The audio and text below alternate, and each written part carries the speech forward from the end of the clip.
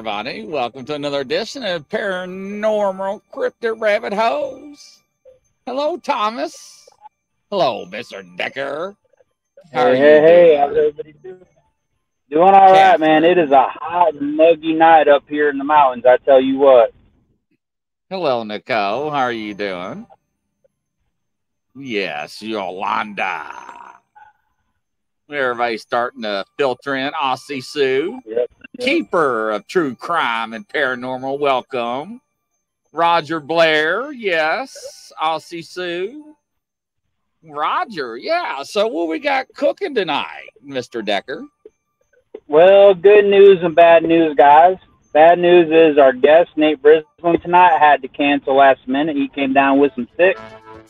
Um, so unfortunately, the, the pale crawler discussion is on hold. But good news is I've got my good friend Chris Deems from Country Conversations up here.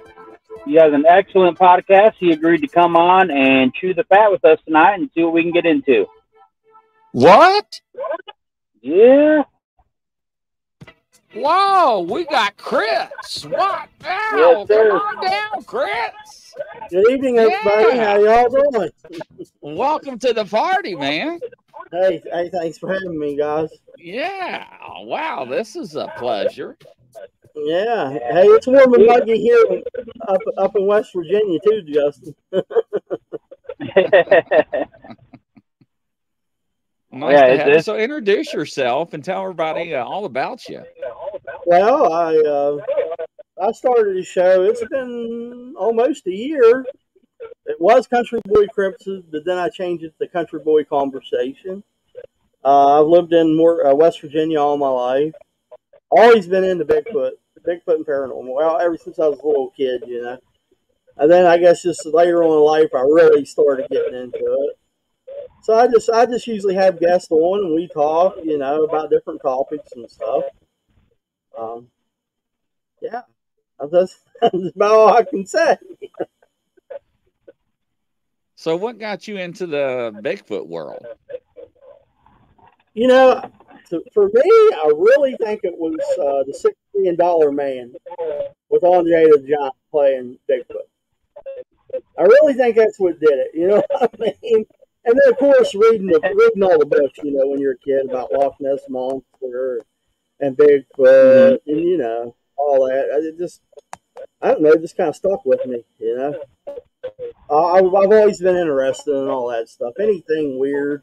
I like history anyway, so. Yeah, we're getting a, we're getting a little feedback. You got another app open or something? No, I don't. No, I have no nothing open. Yeah, testing, testing. Yeah, we're getting a little feedback there. Um, uh, Facebook, YouTube open or anything? No, the only thing I have open is StreamYard. Hmm. Yeah, that's that's strange. We'll roll unless with it, it. Unless it's my internet. Yeah, it's it's, it's getting uh, even when you talk, it's getting feedback too. It's it's like we're hearing each other twice. Right. Yeah. Yeah. on my side. Yeah, I'm I'm hearing it too.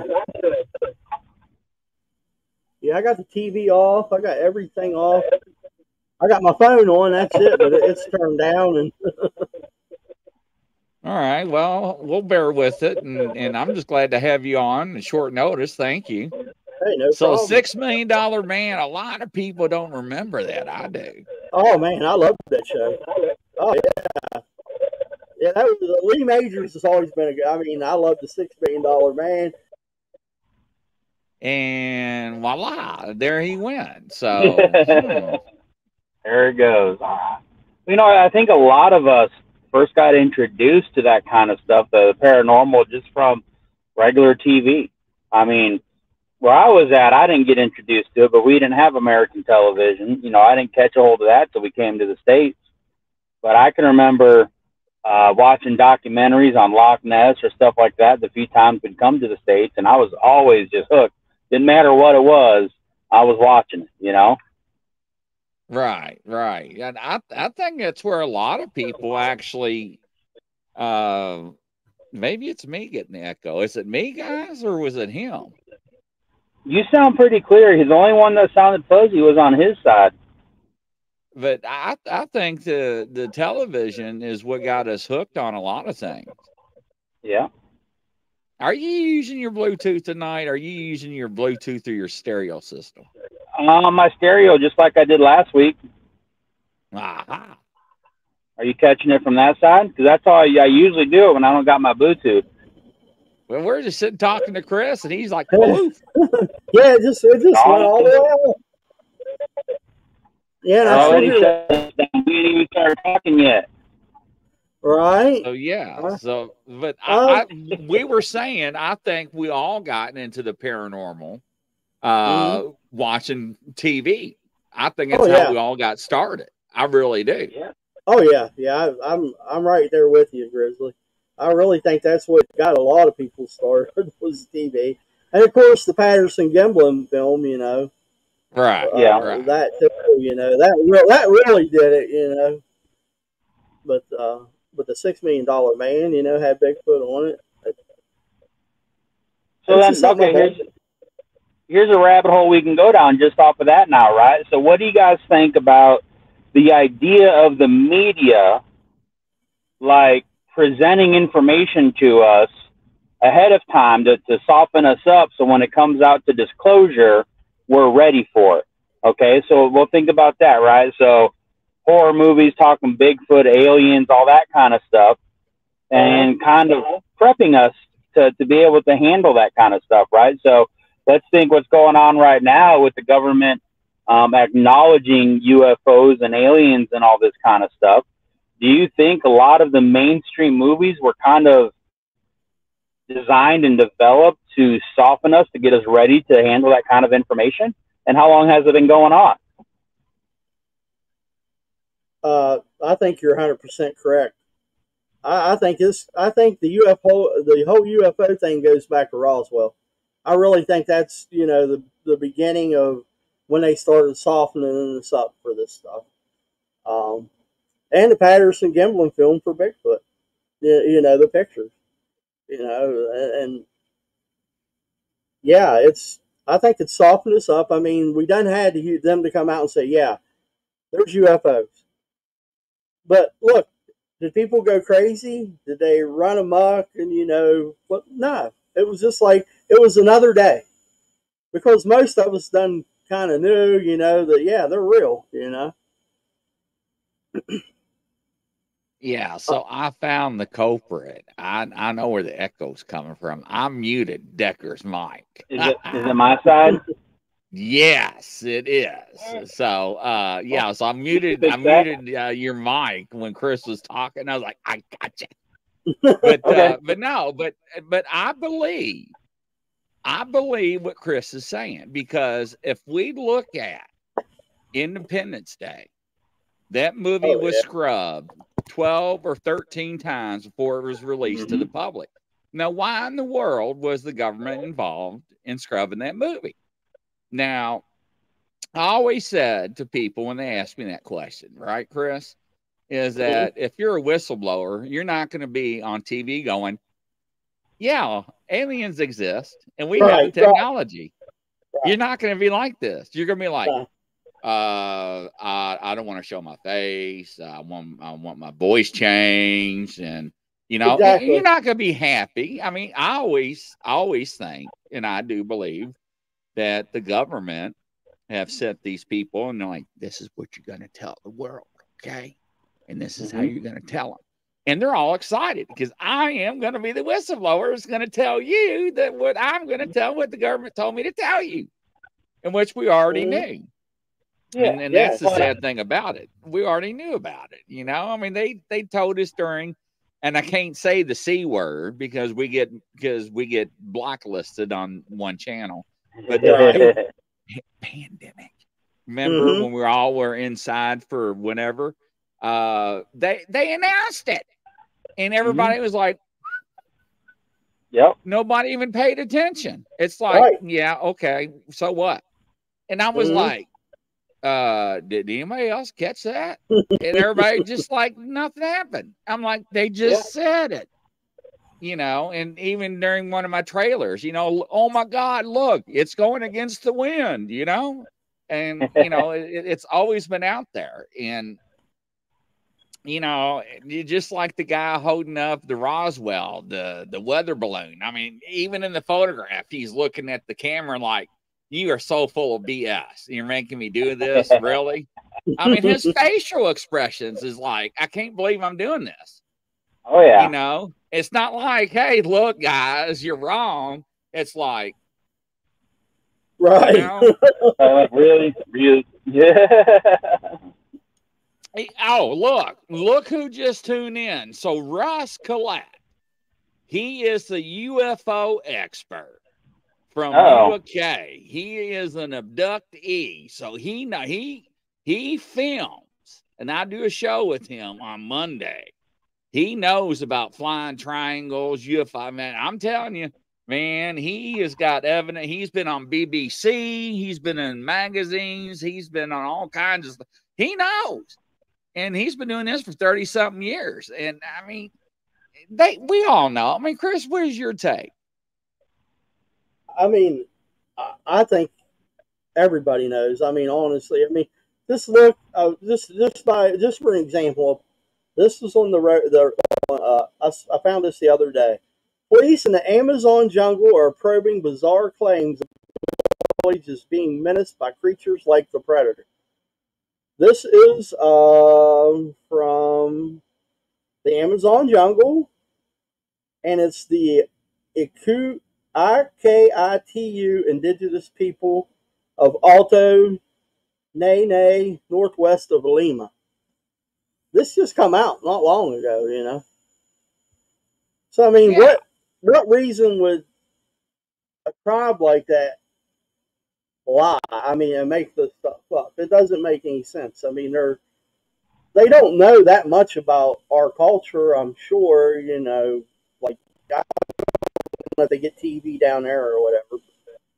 Uh, maybe you can answer that, Justin. I mean, you you kind of grew up in the jungle down that way a little bit.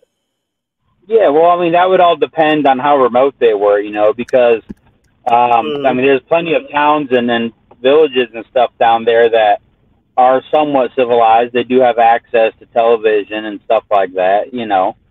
Um, so it would all just kind of depend on where they're at in their society and all that. Because I mean, like right. with the tribe I lived with, there there was no such thing as even we didn't have a TV out there. There was no way to, to use one, you know. Right, right. But the, interesting thing with what you're talking about is what we now refer to as the Glimmer Man, you know. Yeah. And Yep. I've got a research partner up here that has experienced the Glimmer Man phenomenon for himself. And he's, I'm going to have him come on the show one of these nights and we're going to talk about it. But him and, and the team he was with experienced an encounter with something. He won't say what it was because he doesn't know, and that's the kind of researcher he is. But he'll he'll uh-huh. describe it to you how it was exactly like the predator in the movie. It was, it was a shimmery humanoid figure that they could see right through, but it looked like a heat wave, and that's exactly what he experienced up here in Appalachia.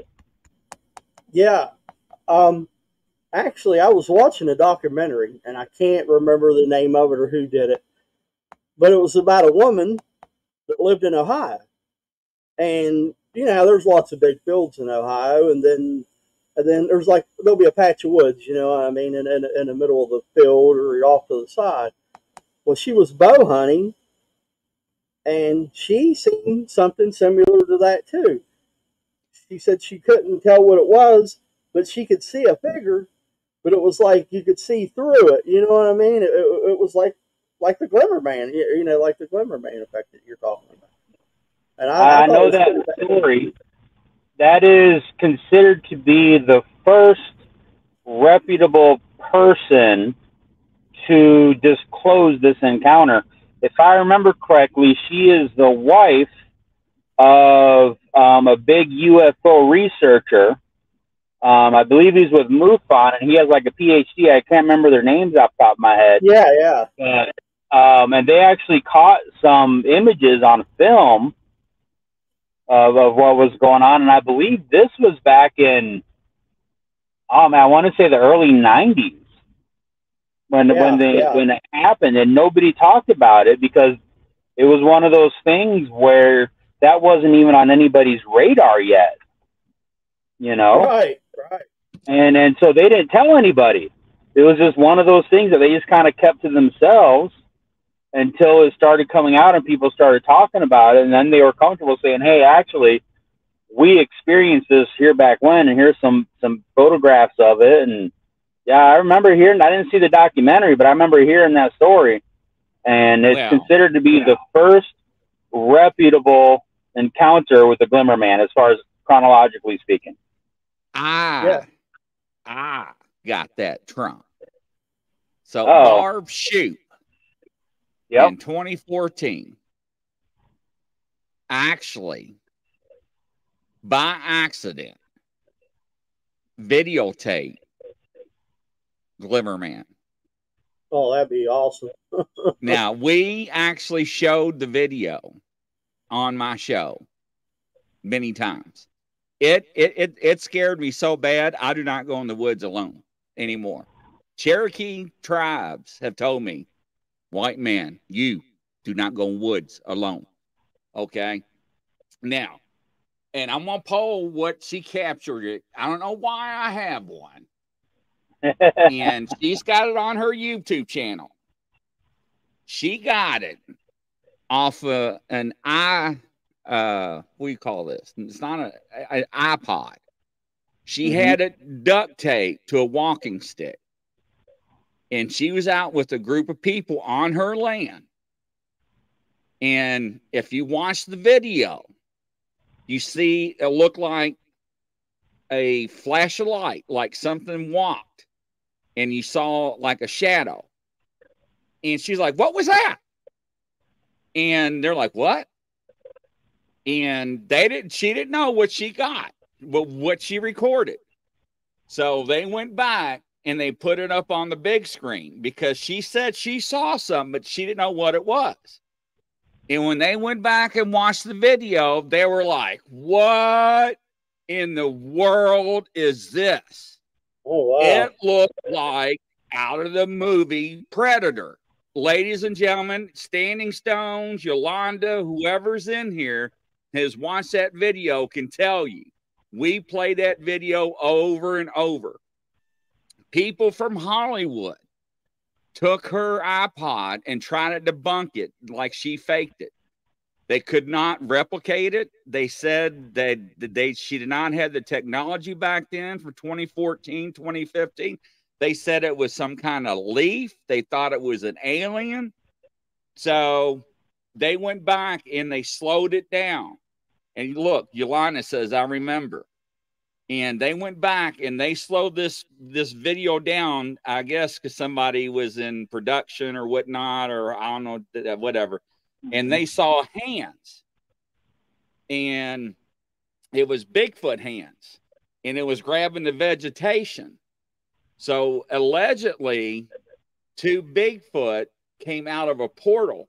That's why they saw this flash of light in the background and the shadow. oh wow. so they went back to the area.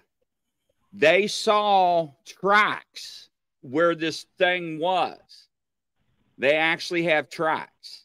So they put two Nice. and two together. And it, and it, so allegedly it was a Bigfoot that cloaked. And they don't know if it if it came back was like, what the hell you doing? You know, checking them out or whatnot. But man, if if I had permission to show this video, I would love to show this video right now. Because I mean it, I mean, I mean, it is crazy. Is how many times have we heard Nicole remembers too? Because people were like, What? Because I mean, how many times have we heard, you know, I'm I'm out in the woods, I hear something running, and I feel the ground shaking, and I don't see nothing. I hear Yeah. something, but I don't see anything. So, you know, it makes you wonder, you know. Hello, Angel Light. You know, um, that reminds me of another incident, and I think it's a separate one from what you're talking about there, Chris. Um, Uh-huh. somebody was out on a Bigfoot expedition, and they visually saw what they believed was a juvenile Sasquatch come down out of a tree and kind of run across and disappear into the woods. And if I remember correctly, uh, the late Claudia Ackley was, was part of this group. And when they reviewed it, and they got it on camera, but when they reviewed it on camera, all they got was the Glimmerman effect, where wow. visually they saw a, a juvenile Bigfoot like I said, descend from the tree and run across the field of vision. And when they went back and replayed it, all they got was the Glimmerman effect. They could see the, the shimmering movement of right where this thing was, but they did not actually capture the creature on video. Oh wow! Well, let's. I mean, yep. do, Thanks, do, Lala. Do think, do you, do you, let's go down this rabbit hole then. Do you think that this Glimmerman is something from another dimension, or do you think it's a way for Bigfoot or Dogman or, or, or whatever to cloak itself? Or what's your guys' thoughts on that? Oh, uh, the only person I've ever talked to in person that has experienced that is my buddy, the research partner Lloyd, and mm-hmm. his what what he described happening was when they saw this thing, it ascended straight up. Okay. Oh wow. Now, okay. it wasn't climbing a tree straight up. It wasn't jumping. He said it was like somebody had a, pulley rope attached to him, and it literally just went straight up. You know, and so, so to me, that's not a Bigfoot thing. That's not you know anything else. Like how how can that happen? So I think there might be, and I know people get tired of hearing this because I say it all the time there could be multiple things that we're experiencing that has this effect, you know, because um, uh, years back there was a book came out. I, I think it was something called like Chameleon or something like that, where it, it talked about um, um, like like him experiencing technology through the military that allowed people to cloak, and they were stalking him uh, using this cloaking technology and all this kind of stuff. So, I mean, there, there could be multiple things people are experiencing, right? I, I read a, an encounter of a lady just sitting in on her balcony in her apartment, like in a big city, and noticed a shimmering glimmerman effect across the, the road in like this park that, that was across from her house. You know, wow. so I'm not wondering if it's a case of okay, so how's this for a rabbit hole? The government has captured these creatures right, and has experimented on them and know what's going on? Could they have possibly developed a cloaking tech based off, you know, Bigfoot's ability to do this cloaking thing? Uh, how, so, how's that for a concept? You know. So we have for a fact, and I published in in in my Facebook group that in mm-hmm. 2006, and Russ is going to say we in 2006 the government mm-hmm. announced that we have technology to make a goldfish and a rabbit disappear and they demonstrated yep. that so mm-hmm. now if they came out in 2006 and, and demonstrated that technology and we're using that on ships and tanks right now how long prior did they have that technology before they released that to the public oh yeah so so think about probably the, probably the 60s or 70s at least. At least, yeah, that, yeah. if not earlier. So I mean, I mean, I think Star Trek was another one of them shows that kind of you know put the UFO along. You know what I mean? It, it yeah. It, it, it's something that they conditioned us with. Star Trek, uh, Star Wars. I mean, there's so many sci-fi programs, you know, Battlestar Galactica. I remember watching it. Uh, Buck Rogers when I yeah, right. you know, right. They've been they, they just conditioned us and conditioned us on on all this stuff. Uh-oh. Uh Chris is teleporting uh, himself back and forth. I, I, don't know what happened. Can you still can you hear me? Yeah, we can hear you. We, we see a picture of you instead of your actual Turn video. Your yeah, yeah my camera must have went off. But, Angel uh, of but, Light. Go ahead. Go ahead. Angel of Light was asking a three part question in there. I think the rest of it kind of got lost, but um, he was asking about a specific video of seeing a man and his wife being attacked by a Glimmerman creature, but now he can't find it on YouTube anywhere. Oh, Um, I have not seen or heard that video at all, man, but um, it wouldn't surprise me if you can't find it because in my research on some of these shows, things I had no I have seen and found and read, I go back and try and find them using keywords, and I can't find anything on the topic. So no, it wouldn't surprise No. me if it was one of them things that got erased. Yeah. Now we brought this up on one of the other shows. I, I ladies and gentlemen, uh, I got a bad memory. Uh, within the last seven to eleven years, the government has been. I have to start using like Russ says, the G-man. Okay, I gotta be careful because we are being monitored. G-man uh, have been scrubbing the internet, even that one site where you go back and, and you can validate the origination the alterations and who made the changes and all that that is being scrubbed uh, because just like when i went back and looked at the martin case and the appalachian trail uh, when i was Mhm. talking about the barrelman uh, on, on that case uh, see russ is saying that's right and Yep. uh, that narrative has changed since last year because I was like, "What?" I'm like, "That is not what I just read last year."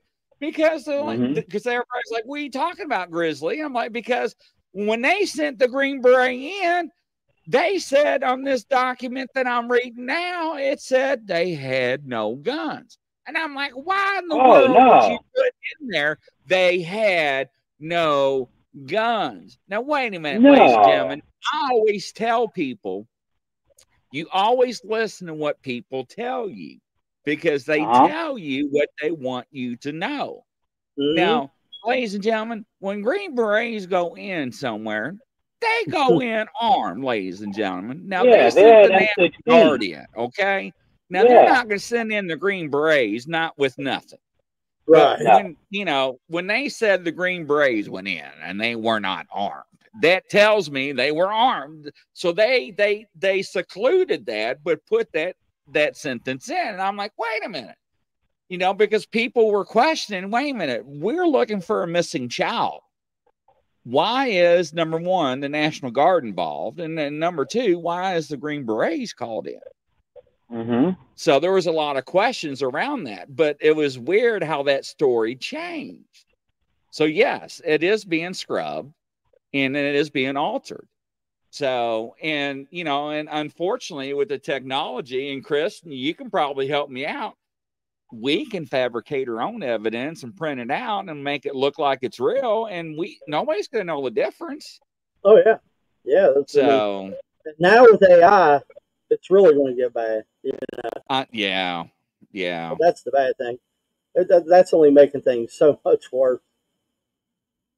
Yeah, and and uh, I think Decker and I was talking about this, and some other guys I do shows with. It's anymore uh, unless we really know you. I feel sorry for people with video evidence and and photograph evidence because we got to take and tread lightly with it. Because I mean, people right now with hoaxes and fabricating, you know, stuff. I, I'm sorry, ladies and gentlemen. I mean, there, there's so many people out there like, look at this.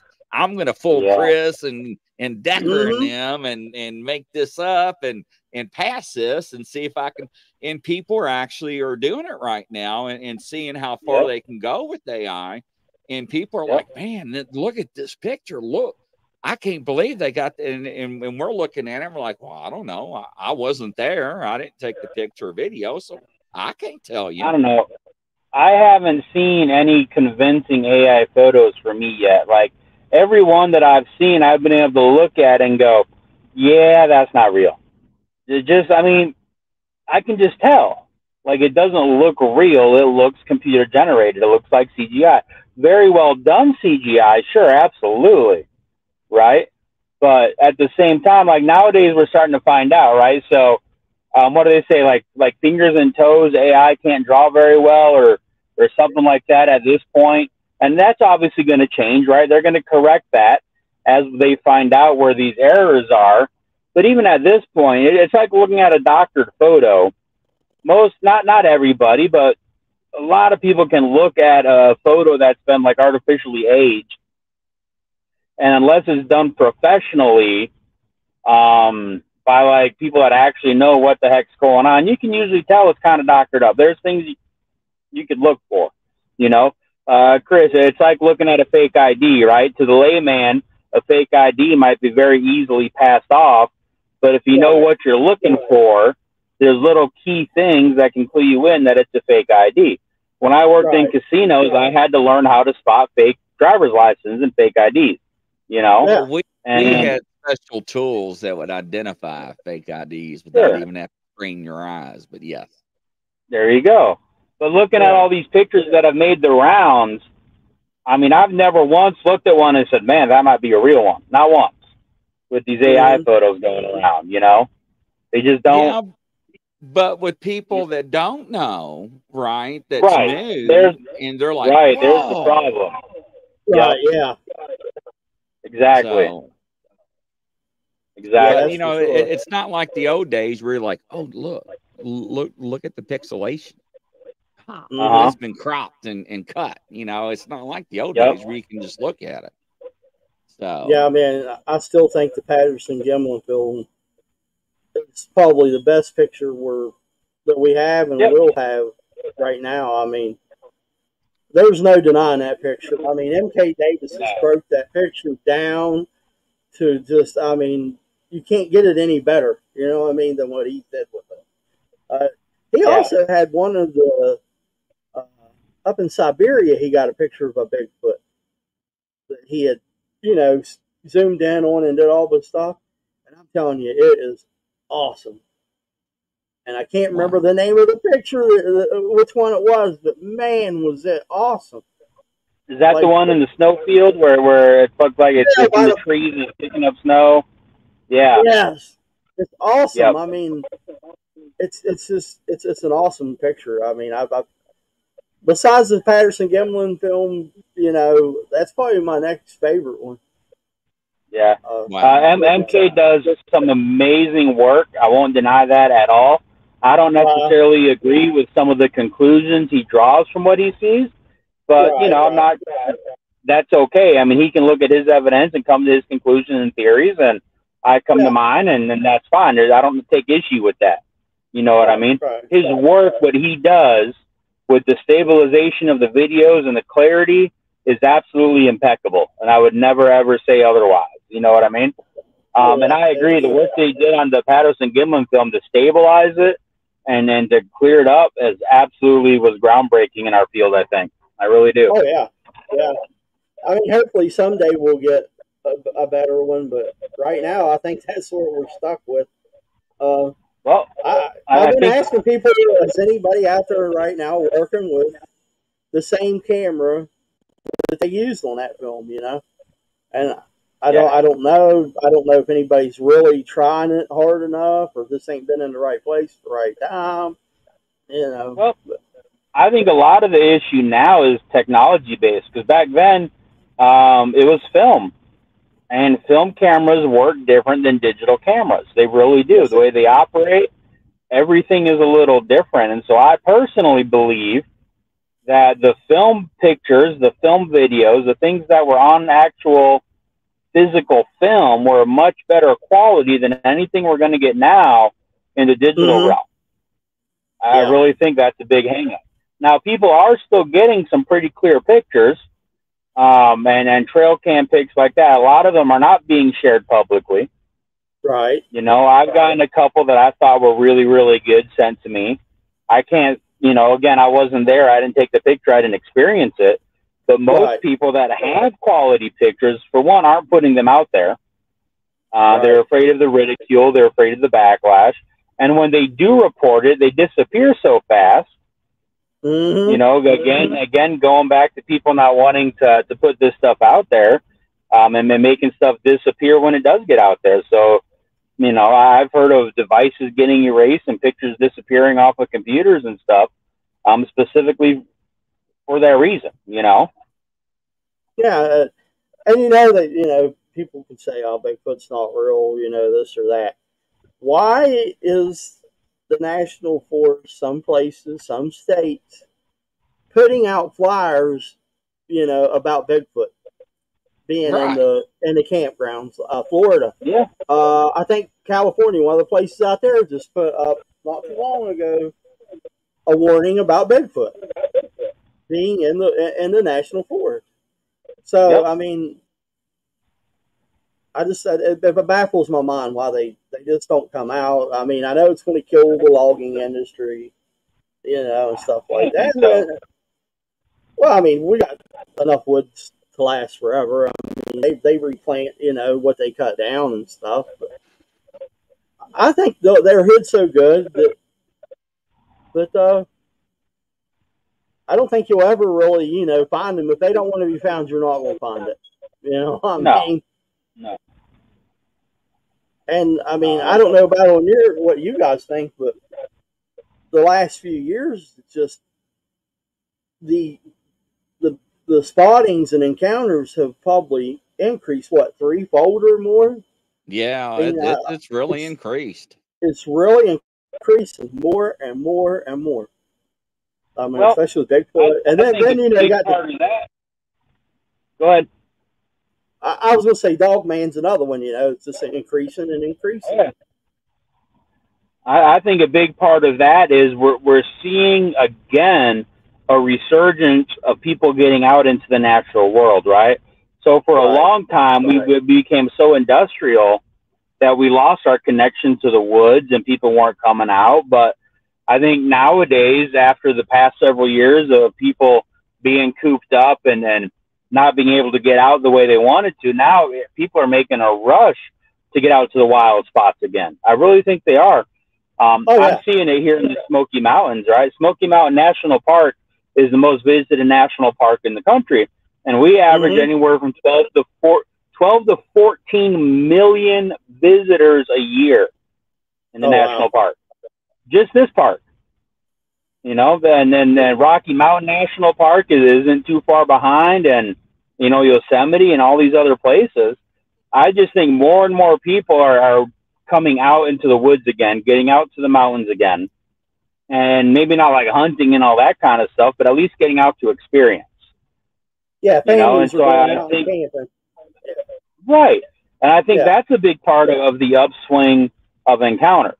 People are just mm-hmm. getting back out to where they're going to experience things, you know? Mm-hmm. And, and I agree. And that, and also the fact that I think it's becoming, not even becoming, it's become acceptable to have an encounter. It's become acceptable to say, hey, I've experienced this in the social media world.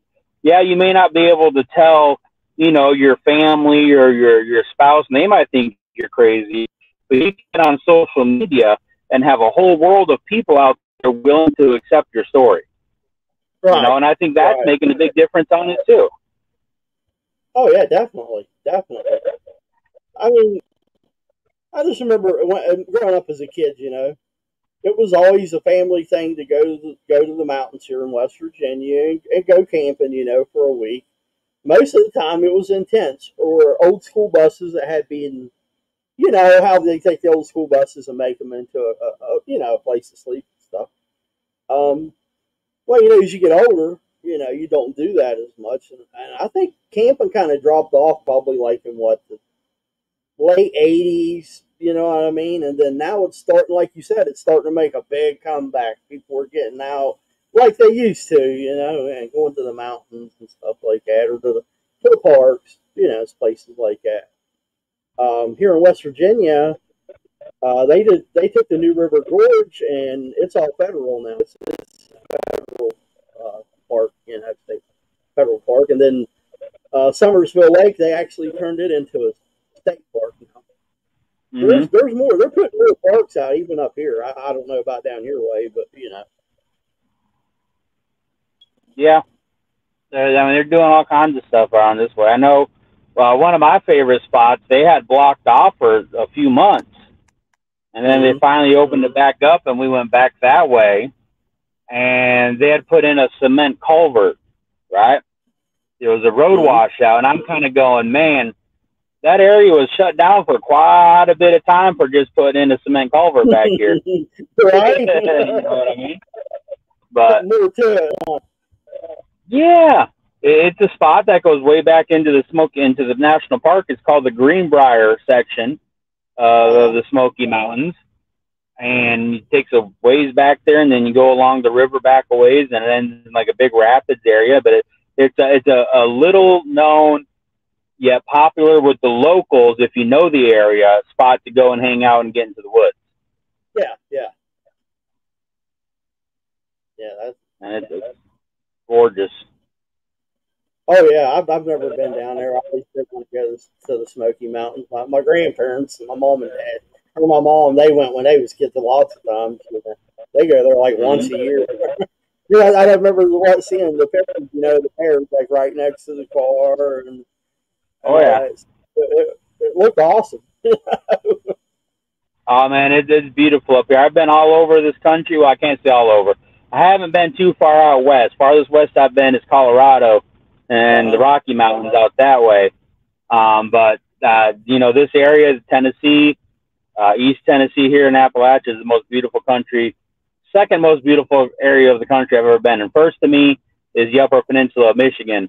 Um, Mhm. But they ain't got the mountains over here. As far as the mountains and everything go, it's just absolutely gorgeous country. And it's Bigfoot country, Dogman country, um, spooks. I mean, we got the we got lights out here. You got just all kinds of stuff. So it's a for somebody Yeah. like me that loves the weird and paranormal, it is the place to be. I tell you what. I hear you. I hear you. What about you Yeah. up there, Grizz, living in the big city? yeah, I live outside the big city. I, I I still live in the country, so I I, I cannot complain. Uh, Brian, uh, I was just going to ask about Michigan, especially up. Uh, so yeah, oh, the U it's the UP, Chris, not the up. The UP. Yeah, the UP. There we go. There we go. What what, what were you going to ask about? Brian's always got amazing questions. So what what were you going to ask about the UP? Yeah, go ahead, Brian. I got a quick question about it. Is it kind of like Yeah. uh, is it kind of like out in Alaska how they have their peninsulas out there? You know that you see on TV. You know the deep coves that go go in. You know what I mean, and come back out. Um, right along Lake Michigan, it's got some. Uh, Um, but the the thing with the UP is it's pretty much all wooded, really? right? You have Yeah. your towns, but surrounding your towns is all woods. All right. If I had any experiences up there, well, I've had a few interesting things happen up that way. That's for sure. Um, so from years uh, nine to seventeen, I lived in the UP of Michigan. That's where my dad's family comes from, is up there in the UP. And to see, as I start talking about it, you know, I'll start slipping into that accent from up there, don't you know? Um, but we had a, a camp up there that my dad and family and I turned into a Bible camp. We had 80 acres of land up there in the middle of the UP in what was Mead paper mill country. Uh, if y'all are familiar with any type of manufacturing, you're familiar with Mead paper. A lot of your Mhm. school paper, your line paper, uh, toilet papers, all that kind of stuff is made from the Mead paper mill that comes from the UP. And so logging was a huge industry up there, up in the UP. Um, so we had 80 acres of pre-logged property, so it wasn't virgin forest, but it had already regrown. And uh, we went in there and found some old logging roads and cleared those out and found an old clearing, and we turned that into a Bible camp. So we would spend, um, I was about, I think 12 years old when we started that. So I was 17 when we moved. Uh, so for five years, I spent all my summers up there in the middle of Upper Michigan. And sometimes it was just me and my buddy. My dad wouldn't even be up there. He had to go do business. So he'd give us our jobs for the week and we'd have to, you know, do these jobs. And sometimes it was just me and him being 15, 16 years old. Um, a couple of things that really stand out. One that really stood, stands out to me is we were all sitting around a campfire one night. Okay. And we had already put up our chapel. And behind our chapel was a big field that we used as like a volleyball field or a soccer field kind of a thing, right? Um, so we were sitting around the campfire one night and we heard a call. That's the only way I can say is a call. And it sounded like it was coming from behind the chapel in this field. And we're talking probably 100 yards away, give or take. I'm not really good with distance. And it called twice. And my dad said it was some kind of deer call, is what, what he described it as. But to me, that didn't sound right. Like it just didn't sit with me that it was a deer. We're talking, it's probably about 11 o'clock, 12 o'clock at night, pitch black. We got the campfire going and we're hooting and hollering and having a good time. And this was a loud, very loud call. Now, mm-hmm. it was it wasn't simian like I, I grew up in the jungles. I know a monkey sound like. It didn't sound like a monkey at all. But I couldn't tell what it was. It was just kind of a weird kind of howl I could maybe see a cat making it kind of a thing, but only mm-hmm. called twice, and that was it. Never called again. Never heard it again. Never heard it once again in the, the you know 12 years I was up there. You know, so that that was one that really stands out to me, and I can't even like tell you what the call sounded like anymore, right? Because it was so long ago. that that was the biggest thing. Now I've mm-hmm. talked a couple times on some of the other shows about uh, when I heard my dad calling my name when we were out hunting, but he really wasn't. Oh, wow. um, I used to, I used to hear a single cow mooing, right? Like way off in the distance, but it wasn't a herd of cows. It was one cow, and it mooed like every 15, 20 seconds for hours at a time when I was out there by myself in the woods. So that was another strange one. I don't. Um, that was strange. Cows just yeah, right. Cows don't just moo like that, you know. No, no. You know, we had we had things raid the camp a couple times. We always chalked it up to bears and coons, you know. Yeah. Um, but I do know in that exact same area on the BFRO website, they do have an encounter of a Bigfoot crossing the road, um, just outside the town of Watson, which is uh, my dad used to church the church in Watson. Now, when I say towns in the UP, usually there's like three buildings, and that's the town. Right, it's a little, there's not a whole, you know, these are those kinds of towns. Like, in fact, we had one town, Arnold. The town itself was a building, and it held, um, it was the gas station, the local grocery store, the post office, the movie rental store, and then attached to it was the restaurant and bar. Like that was oh, the wow. town of Arnold. you know. Um, and most most towns were known by what what bar was in their town. You know. Right, right, right. Um, and in that same area, twice, uh, my family saw mountain lions, which were not supposed to exist in the Upper Peninsula. My mom saw one one time as she was driving out to our camp, saw it run across the road in front of her. Very clearly identified what it was with the, the low slung back and the long you know, tail that that's even all the way along, like a you know, long bushy tail like that. And then one time when me and my dad were up there, we were looking for a trout stream, and we had just gotten back into the car and we're, we're sharing a cold soda. And right alongside the car, the passenger side where I was sitting, it, it walked right along there, and then about ten yards in front of us, crossed in front of the car, and went off into the woods. Oh wow! you know, and, and so we saw mountain lion up there. Um, we found moose tracks on the property a couple times, so that was pretty cool. So there's a lot of stuff going on up there, uh, paranormal, not paranormal, you know. But just like everywhere else, like we were talking earlier, the people up there don't talk to outsiders. If you're not from there, you're not one of them. They're not going to tell you anything. You know, they're they're some of the most down to earth practical, no nonsense people that you will ever talk to. And that's including people in Kentucky and Appalachia and West Virginia and Tennessee. I got a buddy up there that still calls me from time to time. He's got a farmland up there. And he was telling me a couple weeks ago about he had this problem. Like he had some goats and he kept finding goats up in the trees. And oh, he was wow. blaming it on mountain. He's blaming it on mountain lion, and I'm going, well, you know, mountain lion don't do that, but hey, what do I know? And he's going, nah, there's no Bigfoot up here.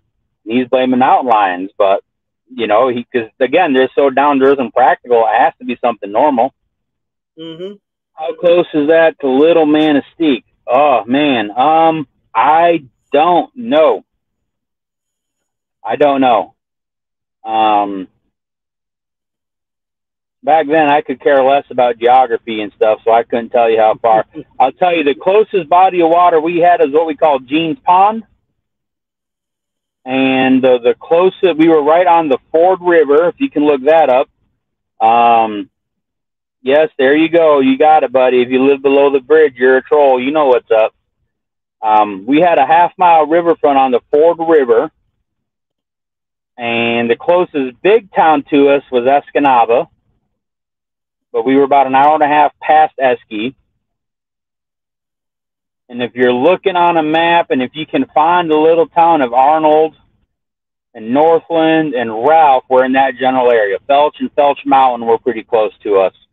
So we were almost kind of dead center up that way. How close that was to the Manistique Lake, I'm not really sure.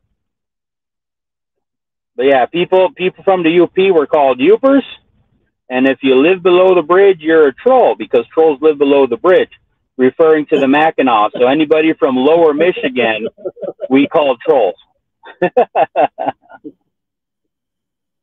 wow. yeah, the UP, man, beautiful, God's country, a lot of fascinating history up there. If you're into like alternate history or true history, as I like to call it, um, yeah. they have amazing copper mines up there, uh, Copper Harbor and all that kind of stuff, right? And they say the copper that actually basically like funded the Bronze Age, because bronze is a mix of copper and other metals, right? Came from the Upper Peninsula of Michigan. They have found copper that is chemically the same from Michigan. They have found it in ancient Egypt, like in tombs of the pharaohs and stuff like that.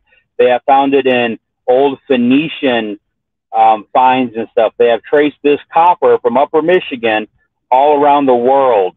Um, if you look into alternate history and the fact that the world was completely populated before the so-called founding modern age, or however you want to put it. Um, so the history of the UP is absolutely fascinating. That is fascinating to find copper from mm-hmm. from there in the tombs of the pharaohs. That, that's yep. awesome. That yep. Awesome. absolutely amazing. Now I know where I know you're talking. About. Yeah, yeah, no man's land, dude. Absolutely, absolutely. And the, you know the the Bible camp is still going. So that's kind of fun. That's kind of cool. Um, you know, we started it when I was 12 years old. Um, it's not the same as it was, but it's still operating and functioning. I plan on going back one day and and checking it out to see how it is now. Yeah, that that's awesome. It's still. Yep. Yep. Uh, Russ says, hear people talking to loved ones when they're claim, uh, claim, uh, claiming Mount, uh, climbing Mount Everest and they saw the mm-hmm. Yeti. So, yeah. Interesting. Yep. Yeah, that, that's an interesting phenomenon is hearing people that you know out in the woods hollering at you. You know, fun thing with the Yeti. Yeah. I don't know if you guys have done much studying on, on the Yeti and all that. Loren Coleman in his books really breaks down a lot of what the Yeti lore really is as opposed to what we know from the movies and the mm-hmm. TVs and stuff like that. And what he puts forth is that Yetis don't live in the mountains at all. The Yeti is a general term like we have for Sasquatch or Bigfoot and he's actually identified, I believe, there's like seven different types. Oh wow! And Yeti is a catch-all for all of them. And he said the way he puts it is they actually live in the valleys of all the mountains because they're they're they're more subtropical. There's vegetation and rivers and lots of food. And the reason people sight them or see them uh, on the mountains is they're crossing from one valley section to another valley section. And I thought that was an absolutely fascinating way to look at it, that there just happened to be crossing because we everybody goes, how could they live up there? There's no food source, very little shelter, the climate's absolutely horrendous. And he's going, they don't live up there. They're actually just crossing the mountains to get to the valleys where the, the food sources are, where the shelter is, where the water is. I think that's a fascinating theory. That is because I never would have thought of that until you just said that. I mean, now that you said it, it makes sense. I mean, it does yeah. make sense, doesn't it? Yeah. I can remember the first time. well, first, I remember the first place I remember about Yeti, but they called it the Abominable Snowman. Scooby Doo. Yeah. that was that was that was the, my intro into into the Yeti. You know. Yeah, and and the, the biggest thing, they're not even white. They're not white. Mm-hmm. They're they're they're Bigfoot colors. They're the dark browns, the blacks, the the you know. I don't think I've even heard of any auburn ones. Mostly like very dark brown to black. Wow, I didn't know that. Yeah. I mean, yeah. that is awesome. Yeah, I mean, it goes back to, to movies and media, right? Telling us what they want us to know, but yeah, they don't. They're they're not reported as being white at all. That that's a complete media fabrication from when they first started translating the story over from Nepalese over to English and American stuff. Right, that's that's where the, the name Abominable Snowman came from was a mistranslation of the wording. And then mm-hmm. with the name mm-hmm. Snowman, they just said, "Oh, it's a snowman. It must be white," and that's where the idea of the white color came from. It really had nothing to do with the stories and the sightings. It was all about the name. Well, maybe wow. it was just covered with snow. You know. Yeah, you know, yeah I mean, it makes sense. Makes oh, sense. Okay.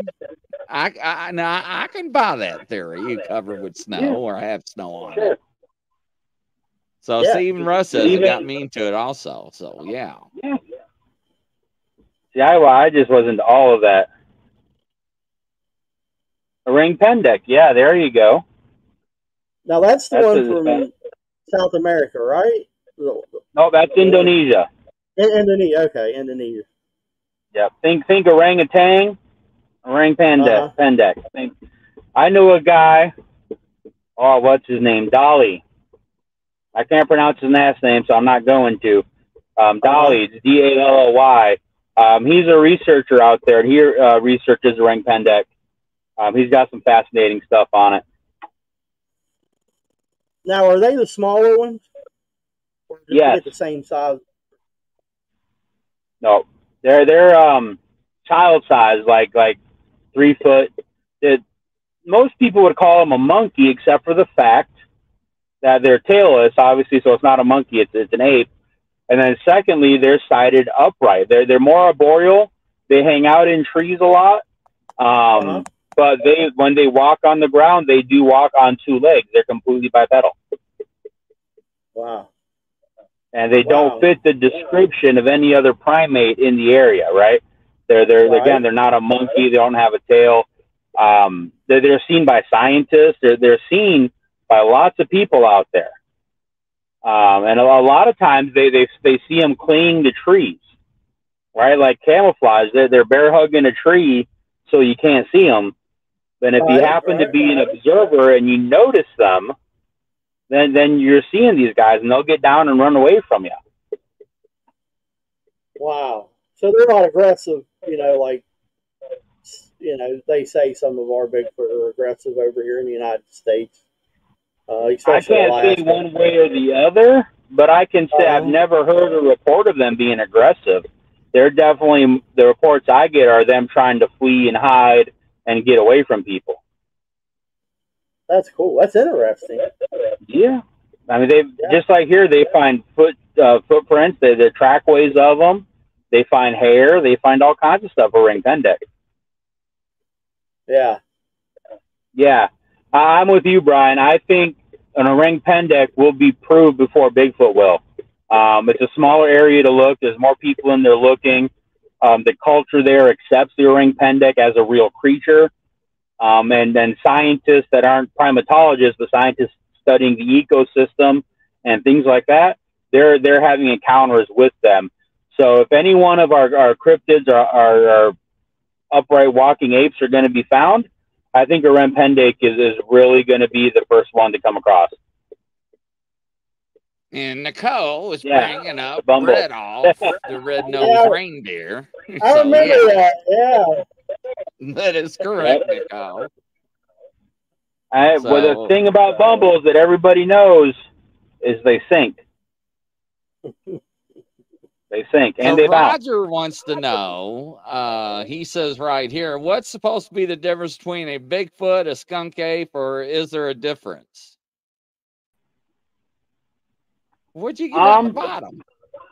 What are y'all I don't what doing? the? What, what are y'all doing? Bouncing all over the place. I, I got, I'm gonna say,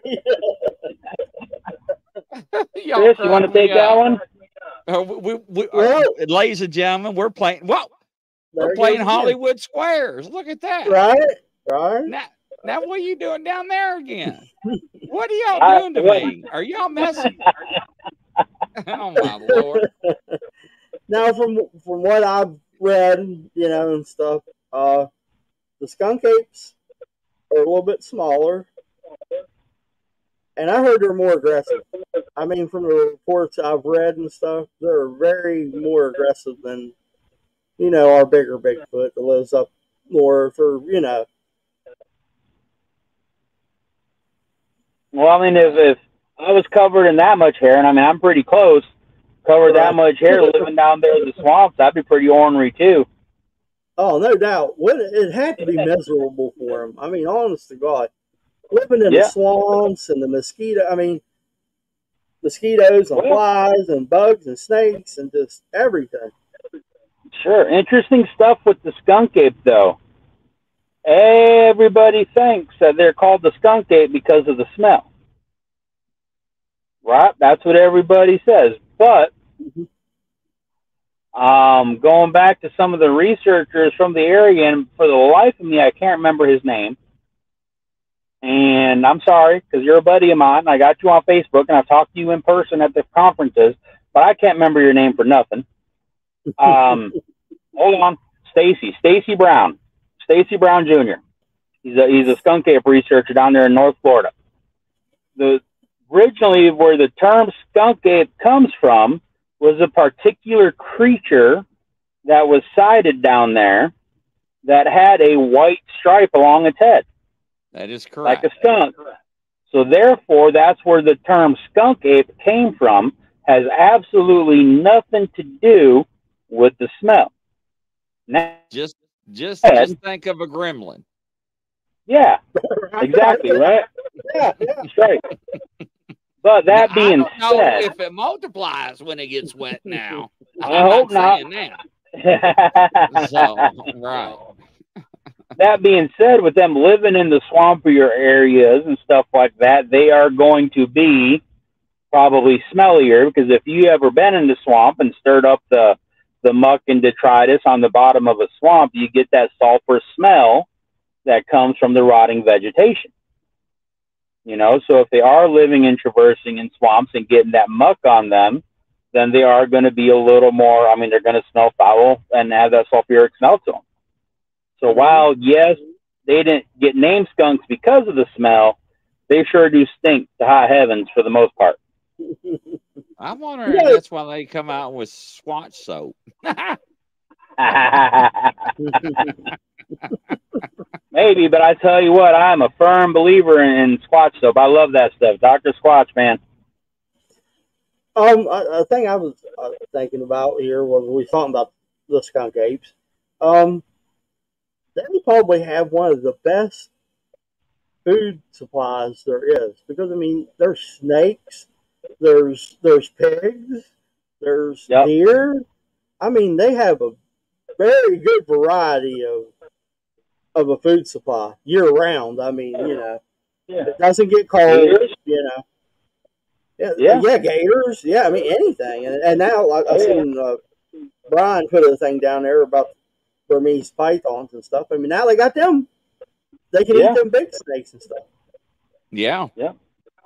I, I don't think there's a whole lot of competition there, Brian. You get yourself a, you know, a big old skunk ape. He's going to twist himself up a snake and then chew on that for a bit. You know what I mean? There's not a whole lot of yeah. competition there.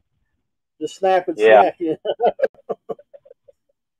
No. And uh, You gotta a really interesting theory that I came across in studying the skunk ape is some people believe that they will hang out in underwater caves.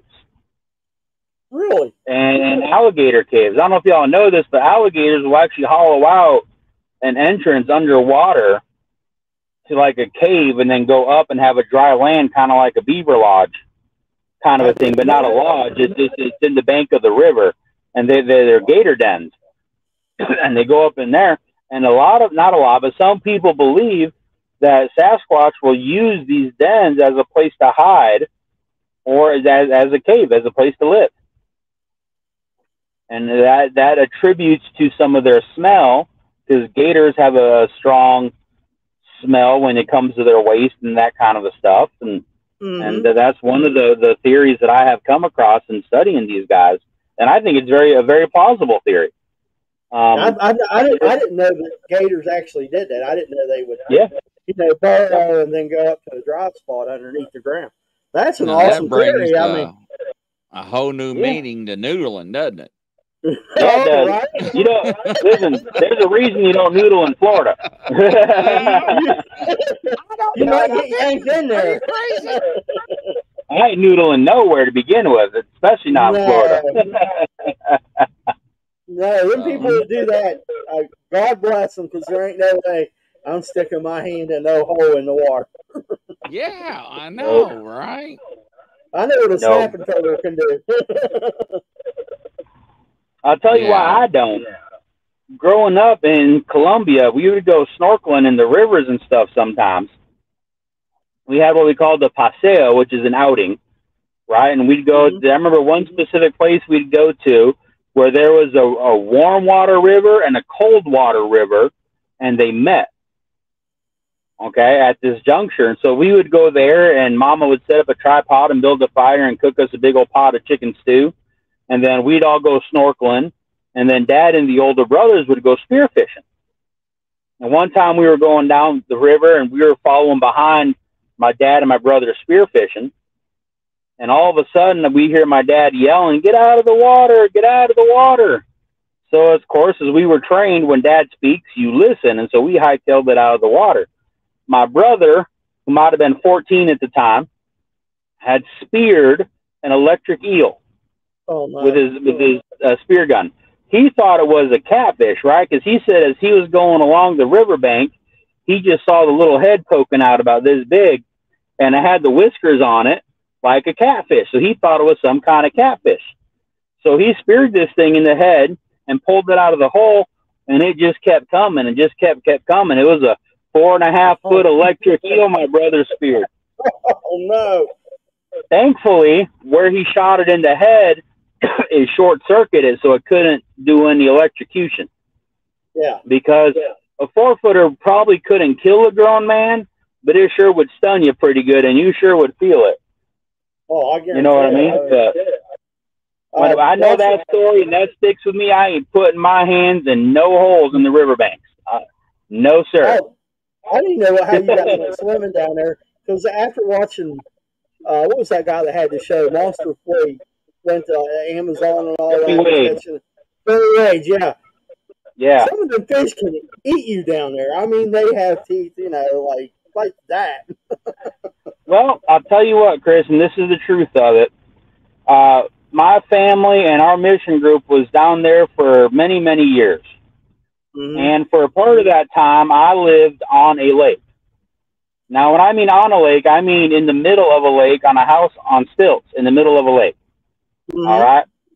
In the 12 years that people lived on that lake, only one person had ever been bit by a piranha on that lake. Oh, wow. And that was a lady who was sitting on the deck and like a dock in the middle of the lake. And she had her feet kicking in the water and she was washing dirty diapers. Right? Because we didn't use disposable diapers, we used cloth diapers, right? And so that combination of the dirty diapers and her white feet flashing. One came up, bit her on the toe, and then swam away. Oh, wow. That was literally the only negative encounter we had the entire time we were down there with piranha. Okay, now that being said, we also had anaconda. Oh, man. Anacondas were considered a shoot on sight animal. Because there were kids out there like myself. I was a crawling toddler out there on that lake, and they would Uh-huh. get us. And so anacondas were shoot on sight, and the lake was full of black caiman, which is you know a type of alligator, and those were a food source for us. But we were Uh-huh. never, never scared. Like we went swimming in that water, we went boating in that water, we went fishing in that water, and we were never scared of the water. It was never an issue for us ever. Wow, that, that's that's cool though. I mean, That ain't cool. I'd be scared. I mean, you know, TV has laws to think that if you go down there and you go in the water, piranhas are going to eat you. You know what I mean? No matter what, wherever you go, they're going to eat you. that is something that can happen. Okay, so I'm not going to say it can't happen, but it's a very specific type of fish under Uh-huh. very specific conditions. Hmm Okay, and and it's in the dry season when the water is dry up. Y'all don't understand what dry season is like. The lake will drop 15 to 20 feet in Oh, dry wow. season. Yeah, so dry season is just that. It is dry. So you get these pools there the fish concentrate and eventually they eat up all the food and so they're starving. Mm, So if something okay. fall, if something falls in that water and it attracts the fish, then that's when you get the swarms and stuff happening. So I'm not going to say it can't happen, it never happened, it doesn't happen because it does. But where Yeah. we were at, that wasn't a He concern. just said it doesn't happen, but then he says it does happen, Chris. So No, I'm I said we're- where we were at, it didn't happen. yeah, Well, I understand. Where I we was. I was just thinking that's that's another way TV is programmed. Is that if you Yeah. go down to the Amazon and you go in any type of water, you're going to get ate up by a piranha or some other kind of fish. You know what I mean? Oh yeah. That's another way that they they you know uh, Yep. made us Nope. think different things than what really is true. You know. Listen, here's the truth with piranha. We used to catch them as a little bugger in the jungle. Right, me and my little Indian friends would get a pole with some fishing line on it, and dig up some grub somewhere and throw it in the water, and we catch piranha like bluegill. hmm We'd take them back up to mom and dad, and they'd cook them up, and we'd eat them. Yeah, I heard They're- people they're- ate them. I mean, Yeah, they're bluegill with nasty teeth, is what they are. I'll never look at another sunfish again like that. we were Say more bluegill- scared of. We were more wary and more scared of spiders and snakes and ants Oh yeah. than anything oh, else. Insects. Insect life is what we were more scared of. Nate, Yeah. I was in, yep, the Amazon jungle of Colombia. The main town I lived in and where I was born was called Villavicencio. And then when I lived in the jungle, we were in the Orinoco River Basin of the Amazon jungle.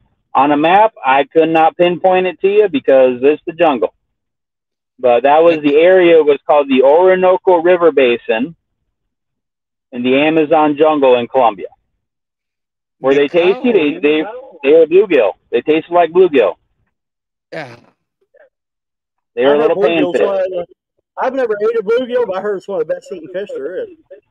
Brian, we That's actually had both down there. Um, normally we caught the red bellies.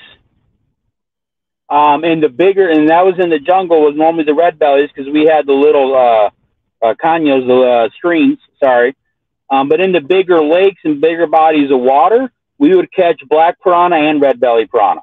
The black piranha is the biggest piranha species there is, and they get to be like the size of some bass. They get to be pretty huge. They're not as aggressive, but they're massive. Tell them that.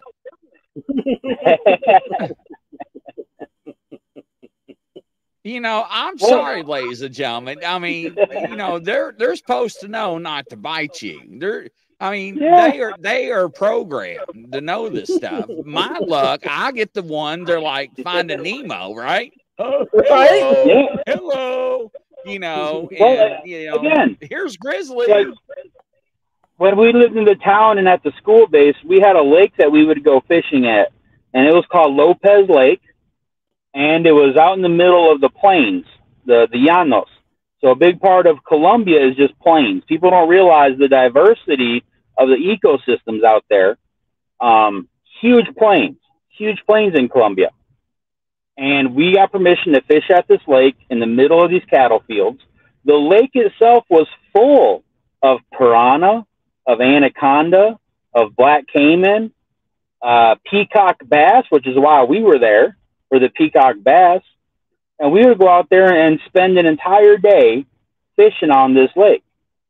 And it got to the point where we would get float tubes. I don't know if you guys know what float tubes are, but essentially it's a big old inner tube that you float around in, but it's got webbing and a seat in it, and it's got pockets for fishing and, and holders and all this kind of stuff. And my dad would put me in a float tube, and he'd go snorkeling with his spear gun all around this lake that was full of anacondas and alligators and piranhas. Yeah, you, you, yeah, that was normal crazy. for us. That was normal crazy. for us. That was just part of it, you know. And I remember one time being out with Dad, and he he'd have me like twenty yards on a rope, and he'd be pulling me so I could feel like I was alone and having fun, right? Mm-hmm. And he mm-hmm. said one time he swam over about an eight foot caiman laying there on the bottom of the river. Now, most of the lake itself was probably four or five foot deep in, in most parts of it. Okay. And so he, he remembers swimming over one and he said he was tempted to go down there and spear this thing in the head. Oh, but he, just, he decided not to because he was pulling me. And if he missed, he didn't want me to get tangled up in the mess. That tells you what kind of hardcore dude my dad was right? Because he's like, I'm gonna go down and spear this gator that's two foot longer than I am. He didn't care. but we went out to this lake over the years. I mean, so many times, not a single person ever got bit, ever got attacked, ever had an issue with any of these critters. Not once. Yeah, my dad was super great. My we could do a whole show on my dad and, and how crazy he was and the type of man he is that's awesome. You know, yeah, it's awesome that you got like, to grow up and all that. Yeah. yeah, you know what it sounds like, Chris? It sounds like, uh, hey, hey, Justin, hold my beer. Watch this. I know, I know, right? Even I hear some of the stories, and I just got to go, man, that that's just nuts. yeah, I mean, we had we had Bigfoot stories down there. The Indians had Bigfoot stories. The Andes have Bigfoot stories you know. Mm-hmm. So even down there, you know, I was yeah. looking at something on the Facebook internet today about living dinosaurs, and I believe living dinosaurs could be possible in places like the Amazon or in the African jungles or some of these other places. You know, to me, it seems feasible. You just we don't know what you're going to find in, in the jungles and the remote areas of the world we had somebody on the show the other day. I forgot what show it was. Uh, that uh, uh, somebody shot. Uh, what was it, a pterodactyl, or somebody saw a pterodactyl? I can't remember what it was, but they saw one. We did a show on that, Grizz. One of my first shows yeah. that we did with you was the dinosaurs. But somebody and, in the chat room said they they they saw a bird or something in the tree. They shot it, and and they went back the next morning and they and they found the tracks of it, but the, it was gone. I, I, I think it was oh, in the oh, chat room. Heard that one. Hmm. Was it Nicole? Was you in that one or Brian or somebody when they were talking about the pterodactyl? I can't remember which show that was on. That wasn't my show. That's great. No, yeah, it, it was recent. Uh, so that, that's part of it, Brian there's one there's one place that really fascinates me, and I, have read a little bit of it, but I want to get really into it. it. Is the Nahanni, Nahanni Valley? That is one place that I really it, it kind of fascinates me because they say you know there's there's a valley there that's tropical like and supposed to have dinosaurs and woolly mammoth still there that's something I, I, I, really want to dig into that place because it's it's a fascinating, yeah. fascinating story. I mean, just you know about the guys that were found with no heads and stuff out there, and you know, it's it's mm-hmm. really amazing. Finding yeah. people with no heads. Uh, yeah, the Headless Valley. Headless, Yeah, the Headless Headless Valley Valley. up in uh, Canada. Yeah. And you want to go there? I, I would like to see it one of these days. No, Honestly. no, I mean, no, I'm good. Now let's take it for granted. When did that happen? Like the 1800s, wasn't it? Oh, Justin? okay, okay. Yeah. During the We're gold, during the in the gold, you know. Well. It Okay. it has a, hi- a long history of it though. Yeah, yeah. It, it spans it spans across you know hundreds of years. All this going on, and Yeah. like the natives tell legends of creatures up there that take your heads, and and then they started finding like miners and prospectors, uh, cabins burned down, and their heads missed, like all kinds of stuff. But then again, there's people that visit all the time still without any issues. But there are reports of, like you said, dinosaur creatures in this valley, and and reports of mastodon in the valley. It's absolutely a crazy story if you look at it. What's that for? It as a what's your word there, Chris? The uh, totality of circumstances, right? Yeah, The totality of right. evidence in this valley is absolutely amazing. Oh yeah, but it's I, I've seen pictures and going down the river, the the rock walls are very very high and they're straight up and down. Like the, the river runs right through a very sharp valley. I mean, there's not much room, you know what I mean, in between you know each cliff, each side, and uh, I I just find it a very fascinating story. I mean, that, that, and then and then one Indian tribe run out another Indian tribe uh, Yep. up there, and it's it's a fascinating story. I mean, it, it blows my mind. Like just a little bit I've read on it. It's, there's layers upon layers of stories involved with the Headless Valley. Absolutely, and I think I think there's pockets like that all around the world.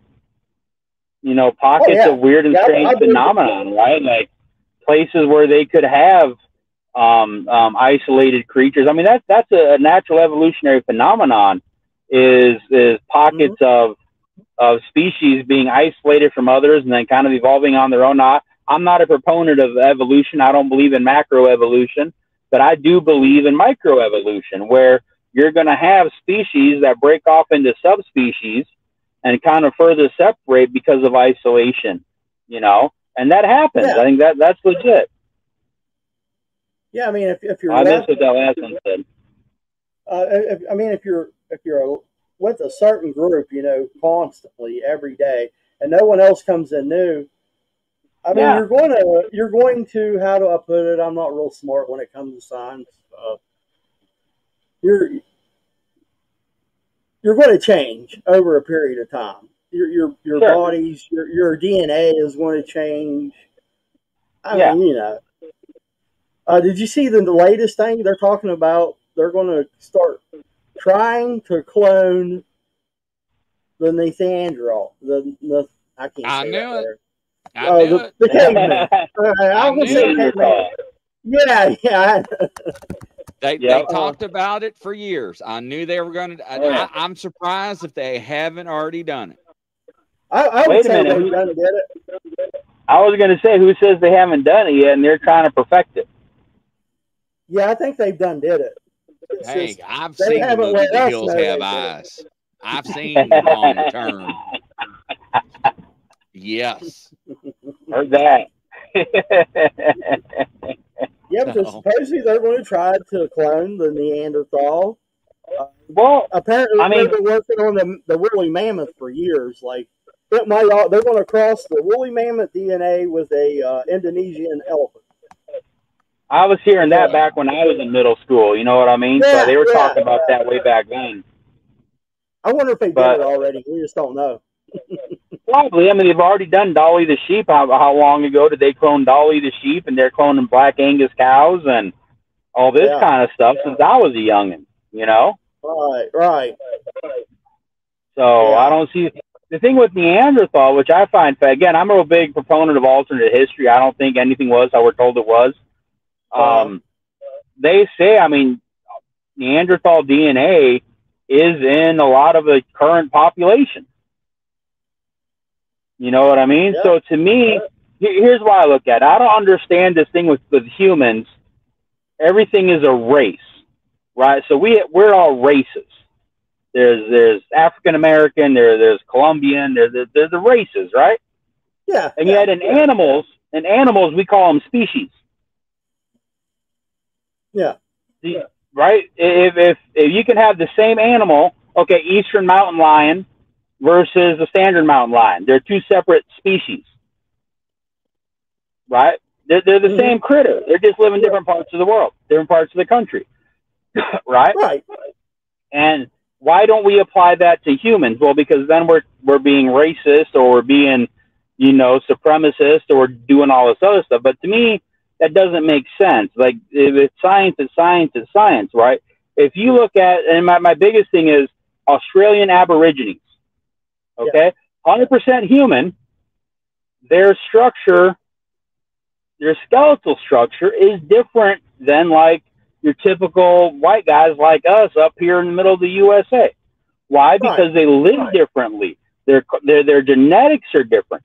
They are different than we are. Now, um, it's not a racial issue at all.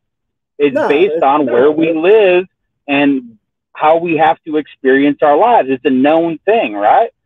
And right. and so I personally believe creatures like like Neanderthal or you know the Denisovan man or all these other so-called other humans or subhumans or offshoot species of whatever you want to call them i think they're just all people just like us but they were a different tribe different type they they were different genetics. They lived differently so they developed in a little bit different ways than all of us. I don't think neanderthal was necessarily a caveman or he grunted and scratched himself and spit on the you know what i'm saying? Like i think they were right. just right. other people just like we were people just like we are people. Yeah they was you just, know to me that, that just makes more sense. So of course that we would have some of their dna structure in ours because look what happens nowadays with tribes.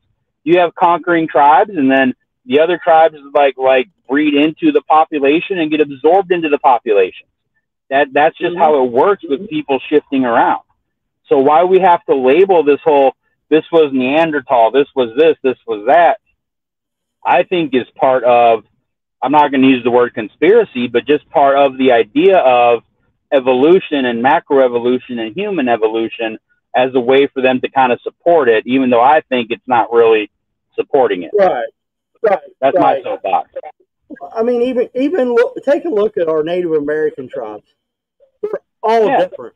They're, none of them are exactly the same. You know what I mean? Some of them are tall and, and lanky. Some of them are short, and, yeah. and, and, you know, it's just it's just where we live, where, where, you, what part of the, the state you grew up in. You know, you know, some uh-huh. used to the warm weather. Some can't grew up in the colds. You know, of Alaska yeah. and you know Canada, and it's just where it's I think it's all where you grew up at, you know, your surroundings, you know what I mean? Yep. That has a lot to do with it. Yeah, absolutely. You know, like one of the things with, with the Aborigines in Australia that they discovered was that they had really large. I'll be right back. I'll be right back. Jawbones. Okay, okay no problem. They had really large, strong jawbones. And the reason being is because they used their jaws and their teeth as an extra pair of hands when they were doing something or, or manipulating, making stuff, or they would they could cut down trees. Our Indians would cut down trees by gnawing on them like beavers. I did not. They didn't. They didn't have tools. They didn't have any type of axe or stone mm-hmm. tools, so they would chew on them to the point where they could bend them over and break them. And wow. ask, ask anybody that, that does muscle building or anything like that, your bone gets denser the more you use the bone and muscles in that area. And so they have these really strong jawbones and they're denser and they're built out more than people like us that don't use our teeth for stuff and our jawbones and the muscles in our jawbones for stuff, you know? And that's mm-hmm. not in any way derogatory. It's simply their life and how they live and how they adapted. You mm-hmm. know? Mm-hmm. Yeah, yeah, Brian, you're right. The victorious are the ones that write write the history books, or the ones that want to tell the narrative of what they believe happened. They're the ones that write the history books. Absolutely. I mean, they, they changed they changed history just by going. My I got, my girls are in. One's going to be in fifth, and one's going to be in or fourth or fifth and sixth. grade this year, Uh huh. and they don't teach them what they taught. I mean, I'm 49, and they do not even teach close to what we grew up Nah. you know, l- learning in school or you know, homeschooling, whatever you know you did back then. Um, Mhm. It's a shame. The, the kids really don't know the true history. No. I mean, even though they, they didn't teach us everything either, but no. we got more we got more out of our teachers. You know what I mean than them books anyway. That's pretty much what Yeah. the teacher taught. And I think that's why I always took it in the history. I always liked you know the history, Civil War, and you know all that stuff, and the Revolutionary Yeah. War is another thing. Uh, it's just I like history. I wasn't a big history buff. I'm I'm more of a sciences guy. Get me in sciences and math. Yeah, yeah, that's what I'm into. I'm not a history guy at all. I'm getting Not into the thing. science now. I, uh, I'm I'm taking my uh, ham technician's test Saturday. So I, I wanted to get into that. I'm an electrician anyway, but I was when I was able to work by trade, and now I want to get into the electronic part. You know, learning about you know capacitors and all that stuff, transistors. Man, Well, can you you got- you gotta study- did that 20 years ago? Look where where where would we be now? No, You got to study Tesla now. yeah, it's So- We know, we know what's It's just funny is everybody's talking about solar panels and all this kind of stuff and the big. We had solar panels in the jungle, you know, in the '80s. We used solar that, panels yeah. to to run. We had a computer. The what? We had two electronic devices that we had to run in the jungle. We had our computer that my dad used Mhm. for his translation work, and then we had the shortwave radio, so we Mhm. could communicate with Mhm. the outside world. You know, those were the two things that we had, and they were just run on solar panels way back then in the '80s.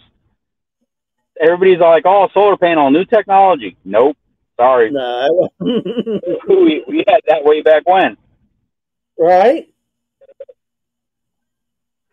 Yeah, solar panels, old technology. Yeah, Now, but now they're yeah. complaining about the what's the thing that goes the things the that- windmills, the wind turbines. Yeah, the windmills. Yeah, they're now now they're saying that's old technology. They're killing Yeah. birds and everything and all that other stuff and Well, ruining you get- landscapes and Well, you Mhm. go back to, you know, the whole deal in Texas when it got cold. The mill windmills don't work so good, I guess, in the in the ice, you know. So they they was without power for a while down. there. What was it, a couple years ago? They had that bad ice storm. They learned real quick. right, right. I know Nicole. I couldn't think. I was like the little, the little. You know what it reminded me of? It reminded me of Titanic, when she was like, I was looking at the little thing that went, uh, the little, and the guy was like, uh, yeah, windmill. Thank you, Nicole. Have you guys ever uh, seen like the windmill farms and stuff that they've had? You ever seen those? Yeah, on the way to Chicago when I had to take that Yeah. civilian class, and when I got out of law enforcement, the Wickland Zoolander or Zoolander Wicklander class. Yeah. Uh, yeah, I, I I couldn't believe. I mean, you can see them for miles and miles, Uh huh. Crazy. and uh, and I could not believe when I saw one one of the blades being transported. How long the Oh, they're blades huge. were. Yeah. Yes. I remember because in Wisconsin it was a big thing because farmers were making more money renting their land to the windmill people than they were farming crops. And so a Same lot of the thing, farmers same were, thing. yep, they were giving up crop farming and renting them out to windmill farmers. They didn't have to do anything at all. The farmers had no thing cell phone responsibility. Towers, yeah, out here Yeah. in the country, cell phone towers. Yep. Yeah, they was going out here in West Virginia, though. The cell phone tower thing. They was going to people's houses if you had a high ridge, you know. And they wanted to put a cell phone tower. Uh, we have a few of the windmills here in West Virginia, like down in uh, Tucker County has them. Uh, there's some close to here in Morgantown, but they're on the PA side, PA border side. There's a couple Yeah. that you can see. They're not a bunch of them though. You know, just like one or two here or there. Now, they had fields, man. It'd be like 20 or 30 of them, and just It was crazy, crazy to see. Right. And that was supposed to be the big thing, wasn't it? And then now, now where is it at? Just kind of, eh. Right. Cost more to upkeep them than it did to produce electricity out of them. Right. now we got now we got electric cars. yeah, I'm looking at all the kids mining the cobalt, you know, and Oh, and, yeah. And and now they're saying about 2030. Now, now, now, now he sucker me into it.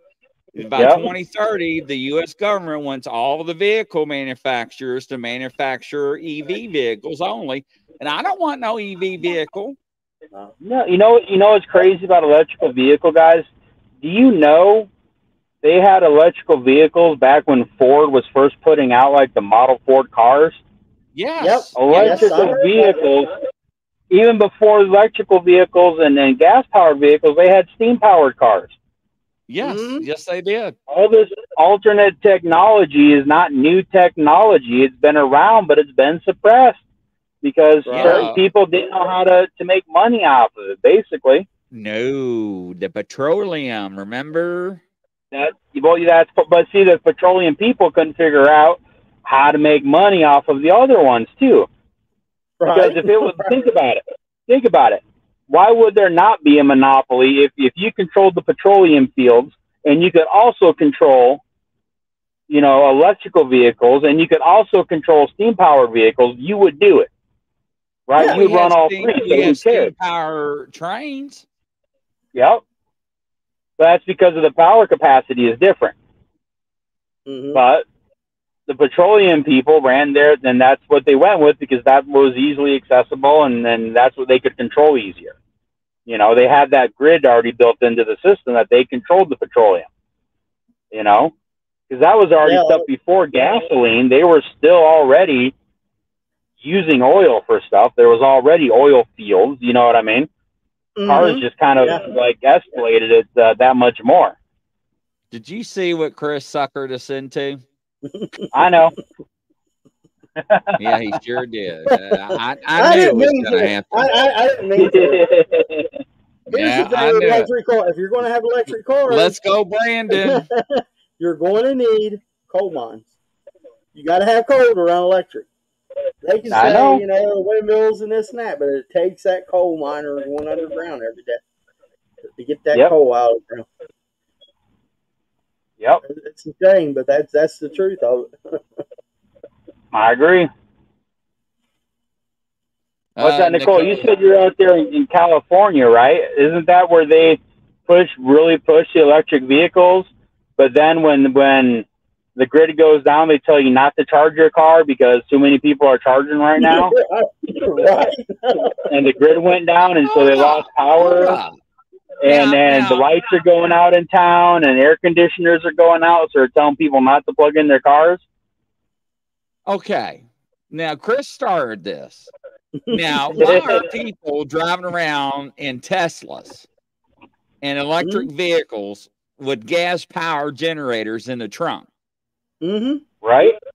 Right? Yeah, it's I got to I have mean, some. of ladies that. and gentlemen, I'm, I'm not, I'm being serious. I'm seeing these vehicles on the side of the road and people texting on their phones and people are stopping and filming them with the generator saying it with, um, yeah, I'm being serious with the gas generator. Yep. I know you are. Yeah, you're 100 percent right, Griff. Nico's laughing. Yeah. Electric bridge over the ocean. Have you guys Oh, ever heard of wood gas vehicles? What what is it now? It's called wood gas. Wood, that like trees, wood, wood I- I- gas. I- yeah, I've, I've Oh, heard you- of now, that. Yeah. now, now you're talking the flux capacitor, right? Back to the future. Almost, almost. So apparently, and I don't know how it works, but I read about it in, in magazines on like being self-sustaining and, and like homestead magazines and stuff like this, where you can basically you you build a fire, a certain type of fire in a barrel in the back of your pickup truck. There's a way you convert it over, and it produces something called wood gas and the wood gas runs your vehicle. It's not steamed engine. It's nothing like that. Okay. But it's right, on. literally Decker. Go ahead. I, I'm I'm I'm going to excuse you because you live in the mountains. All right. Now, have you have you not realized that the New York people are throwing a fit because they're trying to get rid of the wood burning pizza ovens oh, because oh, yeah? they're burning wood because Jeez, they're making pizzas. Oh my yep. God. I mean, is that not a crime and shame? See, see what Chris started. As, as a chef, I find that absolutely horrendous. Just saying. Oh, man. and I'm a pellet smoker, and I'm not going to quit burning my pellets. I'm no. Sorry. Right. Absolutely not. It's it's terrible. It's it's a it's a shame. I mean that they're trying to do everything possible in the gas world. Stoves. Thanks, Chris. Now, now, now you got me on gas stoves at homes. When I heard that, yeah. I'm like, you gotta be joking. Then we gotta do get rid of gas furnaces too. Right. Yeah. Water heaters. Yeah. Yeah. I think I, I, ain't giving up my I ain't giving up Our propane grill. Into, uh, uh, with the boy conversation. I like oh, my yeah. charcoal. I, I, like my Kingsford charcoal.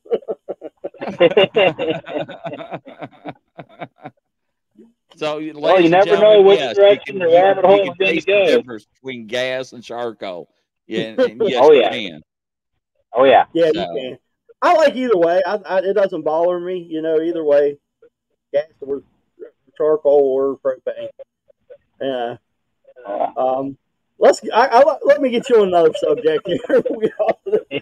so, so actually, that, uh, Brian, uh, people were going to fast food places, thanks to Chris, got us on the subject, and getting uh, their yeah. old old grease and converting it into diesel and the government threw a fit over that. And Actually, I so know, I don't know if they're doing that anymore. I, I, think they stopped it. Did did they or did they not? Yeah, you can yeah. filter uh, cooking grease, okay, cooking oil like fryer oil, and I believe it's a diesel engine, like in the the '60s diesel engines. You can run it straight with no conversion. And I saw this on an episode of Mythbusters, so I know it's got to be true, right? Mm-hmm. Where you, you're using that filtered that filtered fryer oil straight into these old diesel engines, and they're working. And it's comparable uh, mileage. It's comparable energy coming out of this fryer oil. Absolutely. You can't do it with the modern ones, but the older has something to do with the, the 60 diesel motors. You can run straight oil in it. Yeah, Nicole, I think you're right. I think the government did stop it because I yeah. had a, a, a, chief of police over in I'm not well, I ain't gonna say where, but he yeah. was going around to restaurants and he was converting it, and yeah. uh, and they told him uh, as long as you come get it because a lot of the restaurants has a container out back where they would dump the all restaurants. Yep, right. all restaurants. And and they would pay a company to come get the the these containers and empty them yep. or replace them. Yep. And he had to buy a pump that that I forgot how many gallons per minute it had to. Well, you know what I'm talking about yeah. to get the grease out. Yeah. Yeah. But uh, yeah, and it actually saved a couple of uh, um, uh, I ain't gonna say what franchises some money, and he yeah. was running his Ford diesel truck off of it. Yeah. Oh, yeah. If you know how to do it, you you can straight up convert it to biodiesel without, you know, if you know the process. Absolutely. Mm-hmm. But again, then then the people aren't getting their money, and it's no longer government regulated. And heaven forbid if that doesn't happen. You know what I mean? Like, Taxable. Right. Yeah. Right. Exactly. They don't yeah. get two cents, you know. It ain't gonna happen. See, Norma uh, says uh, Decker, my neighbor, has an old diesel Mercedes, yeah. collects neighbor a hood, use cooking oil, and filters it and uses it. See, hi Norma, yep. welcome to the show. Hopefully, you're feeling a little bit better. But yeah, but uh, I know because, uh, like I said, he did it, and a lot of people did it in in Southern yeah. Indiana. Uh, a lot of the country folks did it because uh, yep. the restaurants loved it. Mm-hmm. So if you want, if you want to see one of them, uh, that thing that uh, Justin was talking about the, the, the firewood, you know, in the back of the truck. Uh, the yeah, gas. Channel, mountain men on the History Channel, Eustace, the guy Eustace. I don't know if you guys watched that show or not. Uh, he had one in the back of his truck, a coal uh, yeah. barrel, and he just burnt so much wood at a time, and, and it would run, flip me out, but it works. You yep. gotta know what you're doing. Yep. Um, oh man, there's some good guys. I've met them a few times. They're some good. They're good guys. Hmm. Yeah. Mm. I'll change. So let, us run, let's run full circle on this. All right, so we're talking about um, information that's no longer out there that we used to be able to find, right? Okay. So right, I remember, right. I remember there was a website that I came across, and it was full of awesome, crazy conspiracy, wild information. I absolutely loved it, man. One of the things they talked about was some kind of contraption, and they had the design on how to build it and everything that you, you would build and put in the motor of your vehicle. And the longer you had it in there, the more you used it, eventually it kind of like charged up your car where you didn't have to use gas in it anymore. It oh, was some oh, kind I remember of, that. Oh, wow. It was some kind of water-based device, and it had a coil yeah. system in it. You remember that? And you could yeah. put it in your car. The more you used it, the more try. I don't even understand how it worked, but apparently you used it often enough. Eventually, you could use your car with no gasoline, and this device would power your whole vehicle. Do you remember that? Yeah, I, I, don't. I don't remember, uh, but I, you yes. can't find that anymore. Yes, and they had another device. They you put it between your air filter and your manifold, and it looked like a turbo, and, uh-huh. it, and it, it, improved your gas mileage up to 40%. And they yep. had it on the market for like a year and it just totally disappeared. It vanished. Yep. Oh, yeah. And, it, and I don't, I don't remember what it was called, but it was advertised and everybody was, and it just, and it just went, it went gone. Yep. And mm-hmm. I don't, I can't remember what that was called either. So, mm-hmm this is what we damn you, Chris. you, you remember what happened when the guy invented a car, a motor that would run off of water. He drove it from New York or from the East Coast to the West Coast to prove it worked. Guess what? He disappeared. All the planes disappeared. But now I seen on uh, TikTok or YouTube or TikTok the other day, there's a guy over in uh, a scientist over in uh, India who has now figured it out himself, and now he's you know trying to oh, get a patent. And, and uh, yeah, he'll probably disappear too. But I actually seen him put water, you know, where where you put gas in the gas tank and he told the guy to start and it started right up. I mean, unless he was using kerosene, it was clear. You know what I mean? Yeah. I remember hearing the story of a guy who was uh, an HVAC tech. He'd been an HVAC tech for years and years, and he took his knowledge of how HVAC systems work and built a carburetor for mm-hmm. a vehicle. And it would the carburetor would make it where you got like 400 miles to the gallon. Oh my gosh, that would be awesome, wouldn't it? Right? and when he went to patent it, a major motor vehicle company from Detroit, I won't mention its name, went to buy the patent off this guy, and the guy refused to sell it. Right. He refused to sell it because he's going, no, this needs to be for everybody. If you buy it, you're just going to suppress it. Well, this guy kind of disappeared too and nobody ever heard from him after that either. Right. Yeah. That's, that's a shame. Okay, so I mean, Brian Brian found one of them. The uh, one I'm talking about. It's called the Turbinator. Turbinator. He just found a picture. There you go. So yeah. yes. There's a lot going back, like trying to find this information again. Like people say, once it's on the internet, it's always on the internet. You you know, careful what you put on there. It's always going to be there. You could bull crap because I have right. looked and looked for some of this stuff, and you, you just can't find it anymore. No. No. No. There's a And lot. I, mean, there's a lot of smart people out there that have figured this stuff out. Yeah. I could just imagine what they do, what they have figured out, and haven't told anybody because they're scared of what would happen to them. You know what I mean? Right. Now, I think Mhm. on the Turbinator, uh, I think the reason, uh, if I recall correctly, Nicole, and if you can ask your husband and Brian, I think the reason why they took that off the market, allegedly, they had a problem with it cracking all the time. That's what they said. I don't believe Okay. that. I don't buy it. Mm, I, I think it cut into the the oil refinery. I think it cut into people's taxes and the government. Or Mhm. G, I got to say, I got G man, G man. So yes, G man. But I, I think that's why I got pulled allegedly. But yeah. yes, Makes sense. But, Yeah, I uh, remember like this website, man. I wish I could remember what it was. There was so much great material out there. It was, they, I mean, they were people talking about the the. Remember the big satanic scare in the '80s, where everything was all Satan, Satanistic cults and child sacrifices, and now they say Mhm. that never happened. They say that was just mass hysteria and all this kind of stuff. But th- this had article after article from survivors, from people that were involved and got out of it and all kinds of stuff, right? Um, it had plans on, on how to build a device that you could put by cell phone towers that supposedly negated the negative energy coming off cell phone towers.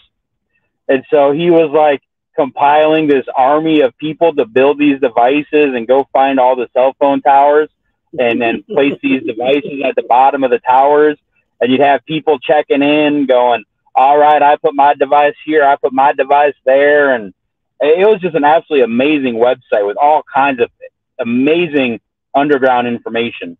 And, and I wish it was still around today because I know it's not there anymore. You know what I mean? right, Uh, right. So much cool stuff that, yeah, they talked about that device that would just make your car basically run on, on nothing anymore. It was absolutely insane. Yeah, it's it's a shame because there's so many things out there that we could do ourselves. Yep. It's it's we- the, it's, they it's won't the mighty old dollar Yeah, is what they There you want. go. Agreed. I mean, I, look, I, who was I talking to? I was talking to someone the other day, and and we was talking. And you know, all the mom and pop places are going now. We don't have the little, you know, the little markets like we used to when growing up as kids. You know, with like you know, the little town store that carried out. You didn't have to go to the A&P or you know, or Kroger's Uh-huh. or anywhere like that. You could go, you know, just go to the little place right down the street, and it's it's all Western going. Auto. Yep, uh, yeah, Western Auto, yeah. You know, All if you little needed something at the hardware store, you went to the hardware store. Exactly. Exactly. Yeah. Well. Yeah. You and I remember mean, that. You know the the the big W's ruined a lot of small mom and pop places. You know what I'm talking about. Oh, yeah. Yeah. I mean, it's, it's a shame. and I think by design. Oh I'm yeah. going to go back to my conspiracy theories, man. I think that's by design because then you can It get is. you can control the flow of goods, control the goods, you control the people. Right. You know, I mean, that's that's that's, that's the truth. It's, it's- money is the root of all evil, they say, and I I do believe that. That's for sure. the love of money. Well, yeah. Yep, Yeah. The greed, the greed of it. Yeah. yep, yep. yeah, that's that's it. Just ain't the same place we grew up in, you know. Yeah. Not like it used to. Tell to. me about it. No. no, it, it isn't. It really isn't. No. a lot of things have changed and you know, it, it's it's, it's going to keep changing. There's no telling what it's going to be another 10 or 15 more years and that's the sad part of it. So, Well, just look true, where it's been. Just just look from the '90s on how much adva- how advanced we are now. You know, yeah, in the last 20 years or so. You know, hell, yeah, the last 20 years. I mean, right. how much Well- more advanced everything is. Right. leaps and bounds, man. It- It's crazy, leaps and bounds. Yeah. Yeah, and, Well- and uh, if you go back to you know JFK, he predicted all this stuff. You know, the technology, how it was going to grow. Well, if it was for an Eisenhower and his emergency visit in the middle of the night to go to the hangar and meet with the aliens to sign that treaty, Mm-hmm. you know, we wouldn't have all this technology, I think. But you know, I no, I, I don't know anything. I'm just a grizzly country boy, so right? Just well, like that uh, and, and uh, the whole Tesla episode of all of his information disappearing when he died, supposedly from natural Right. causes.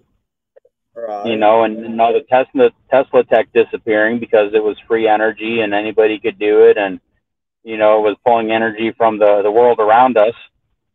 Hmm Yep. Yeah, I mean, uh, yeah. uh, you can't you can't leave out Jackie Gleason and Richard Nixon in there too. right? Yeah. I'm not a crook. Yeah. They, Yeah, they said what? uh, they said Jackie. Gleason was really into it after him and Nixon Uh-huh. did whatever they went and did. He really got into the whole UFO alien thing.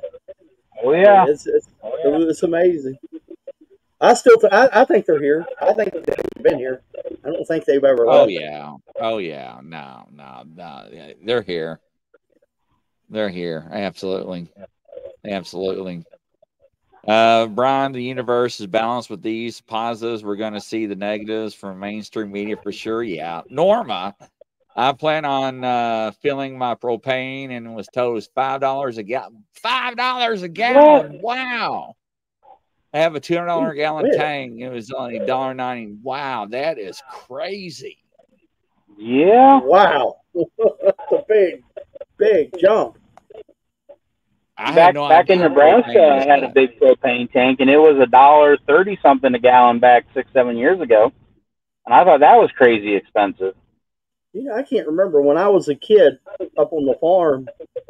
You know, we had the big propane tank. You know, to heat the house and you know stuff. Mhm. And I, uh, I, I don't ever remember it being like that expensive. I think it was like two hundred dollars we to fill up. off-road Uh, diesel. Yeah, yeah, yeah. Some people did burn that, didn't they, at one time uh, in their Mhm. in the furnaces? Yeah, Yes, off-road Yeah. diesel is what it was called. yeah. Because you can get that. I think you use it in your tractors now. Is what they sell. You can buy the off-road diesel for like you know your your farm tractors and stuff. You use the Yep. off-road. Yeah. Yeah. Even them little torpedo heaters, you know, to heat, you know, a building up or underneath, you know, yeah. your, you know, they use like all different kerosene, off road. They'll burn about anything, I guess. Yeah, I guess so. Oh yeah. Yeah, but- ladies and gentlemen, I tell you what, Chris did a wonderful job switching it to his show. I, I love it. Yeah, Give him a round of absolutely. I didn't mean to do that. no, man. That listen. That's why this show is rabbit holes because we never know where we're going to run, where we're going to end up at. But that's what Right. we do. We discuss the we we find something and we just dive deep, you know, and see where the rabbit hole takes us. And that's exactly what we did tonight. We went down some very twisty, alternate rabbit holes. That's for sure. Well, I'm glad you really did come on the show, and and, and I'm very Yeah. glad I finally got to meet you for a chance. So um, thank you for the opportunity. Yeah, yeah, I, I, yeah. Nice to meet you too. Uh, yeah, anytime you guys need somebody, just give me a holler. I don't mind coming on. Yeah, man, Oh, we man, never know where, where, where our train's gonna go. You can you can tell that right now. So we was into everything tonight. you know, as long as uh, Nicole and Norma don't drive, we're not gonna end up in the ditch. So we're okay. But yeah.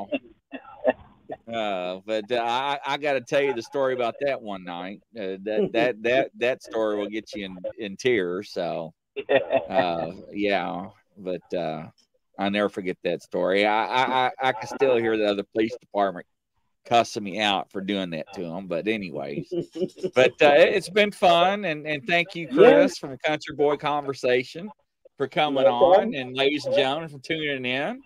And uh, hopefully everybody have a good night. And from coast to coast and around the world, that's a wrap. You all have a good one. All right. And God bless good and. Godspeed. See y'all next week.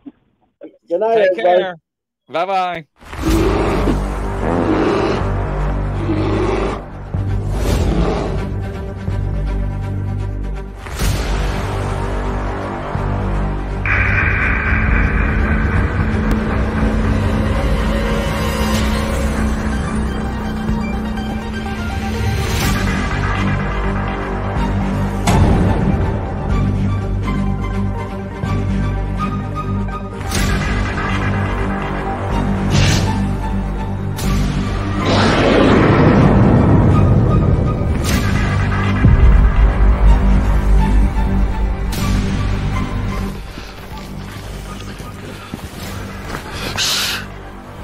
It's a grizzly. Should we get out of here? No. We're gonna watch and listen.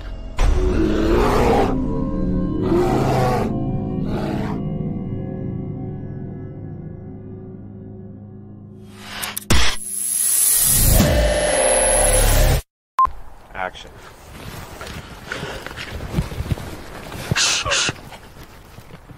It's a grizzly. Oh, ship, should we run? No. Action.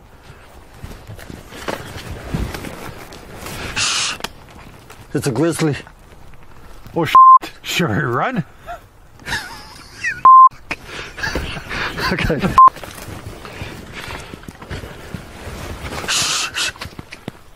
It's a grizzly. Are you sure it's not a chipmunk? Action. No,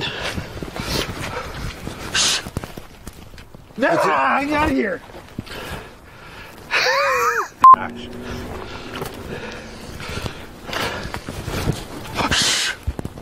It's a grizzly.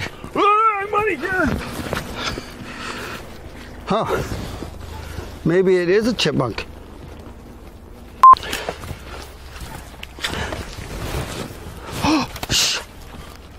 It's a grizzly. Oh, are we gonna die? I don't know. We're just gonna sit here and listen and watch.